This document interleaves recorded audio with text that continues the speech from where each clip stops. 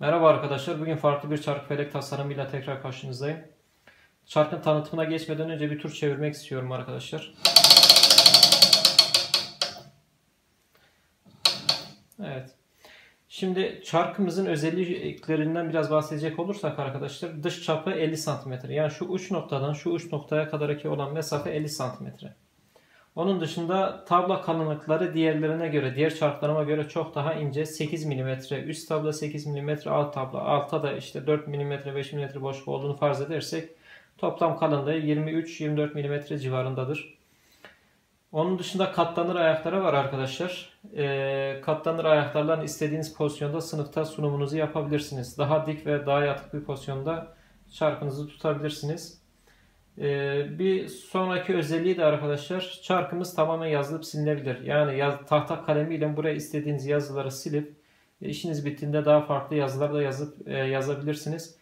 E, asetatlı kalemler de var. Hemen silinmesini istemiyorsanız, el değdiğinde hemen silinmesini istemiyorsanız onları tercih edebilirsiniz. Kırtasiyelerde çuval kalemi diye de söyleyebilirsiniz. Bu normal tahta kalemi olduğu için çok rahat bir şekilde silinebilir arkadaşlar. Onun dışında ayarlanabilir bir göstergesi var arkadaşlar. Şurada gösterge çubuğumuz var. Bu gösterge çubuğu sağdan da çividen darbe yese, soldan da çividen darbe yese fark eden bir şey yok. Tekrar orta noktada sabitleniyor. Şu, şu şekilde arkadaşlar. Ee, bunun gerginliğini ayarlayabilirsiniz alt taraftan.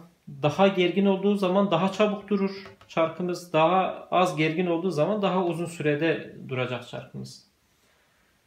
Onun dışında hafif bir malzeme arkadaşlar. Yani diğer çarklarım benim 12 kilogram ağırlığındaydı. Bu tahminen 2 kilogram ağırlığındadır.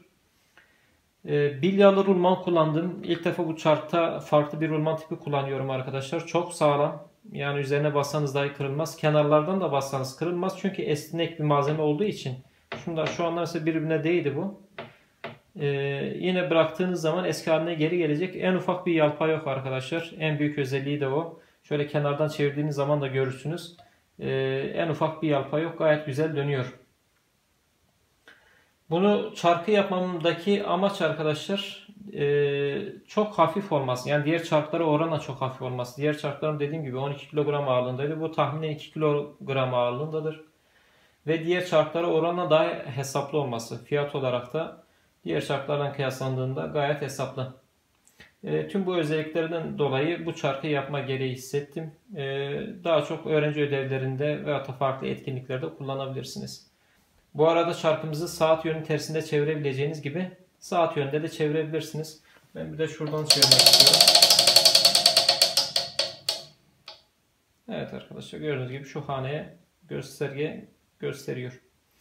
Beni dinlediğiniz için teşekkür ederim. Bir sonraki tasarımda tekrar görüşmek dileğiyle. Hoşçakalın arkadaşlar.